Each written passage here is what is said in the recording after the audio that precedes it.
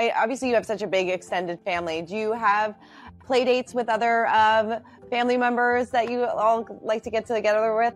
Yeah, for sure, for sure. There's nothing better than cousins. Cousins. Yes. Cousins is it's the best thing ever. Yeah. So when the kids get together with their cousins and they're just running around having a blast, um, it's absolutely the best time. It really is. Do your kids get together with Kylie's kids at all?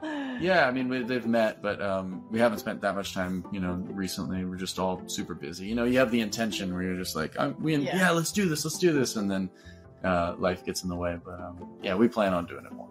Uh, what's it like seeing uh, Brody step into this new role as dad? Always the best. best. I love, you know, misery loves company. Sometimes when there's sleepless nights, and I'm like going like, oh, so now you know what it's like. This is so fun.